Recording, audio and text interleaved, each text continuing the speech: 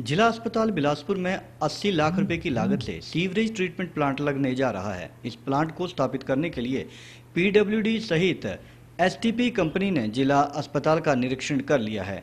Visit के दौरान team ने अस्पताल में प्लांट को स्थापित करने के लिए जगह भी चिन्हित की है। ऐसे में अब जल्द ही ये कार्य शुरू कर दिया जाएगा। बिलासपुर अस्पताल के एमएस डॉक्टर एन के भारद्वाज ने बताया कि अस्पताल में शौचालय के अलावा ऑपरेशन थिएटर व अन्य स्थानों से आने वाले गंदे पानी के निस्तारण की उचित व्यवस्था नहीं होने के कारण संक्रमण का खतरा बना रहता है। गंदे पानी के निस्तारण के लिए अस्पताल परिसर में ट्रीटमेंट प्लांट भी लगाया जाएगा, जिसके लिए स्थान का चयन कर लिया गया है। इस प्लांट की सहायता से सॉलिड वेस्ट को भी जलाया जाएगा, लेकिन ट्रीटमेंट प्लांट लगने के बाद भी अस्पताल के बायोमेडिकल वेस्ट का निस्तारण वहाँ नहीं होगा। बायोमेडिकल वेस्ट का निस्तारण निजी कंपनी के लिए अनुबंध पर किया जाएगा। बिलासपुर के एमएस डॉक्टर एन के भारद्वाज ने बताया कि इस प्लांट के लिए संयुक्त विज़िट किया गया है, जिसके लिए स्थान चिन्हित किया गया है। 80 लाख रुपए की लागत से ये प्लांट तैयार किया जाएगा।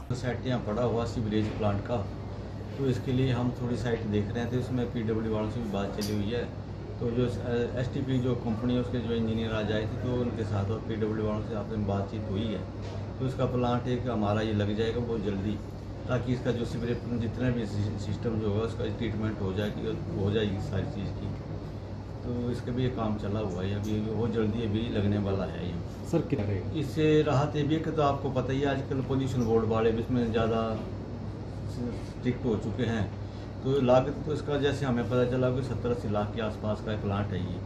तो इसको लगने से होगा कि जितना भी सीवरेज का सिस्टम जो होगा उसकी ट्रीटमेंट यहाँ हो जाएगी ठीक ढंग से। और जितना हमारा केमिकल वेस्ट होता है उसकी ट्रीटमेंट भी हो करने के बाद इसको भी सीवरेज में मिला के उसको भी डिस्पोज किया जाएगा उससे पहले तो अभी ऐसी कोई व्यवस्था नहीं थी जैसे सीवरेज को ट्रीट करने के लिए। उसमें तो ये है जैसे कि सीवरेज प्लांट बना हुआ है तो लाइनें बिछू उसमें से सीवरेज का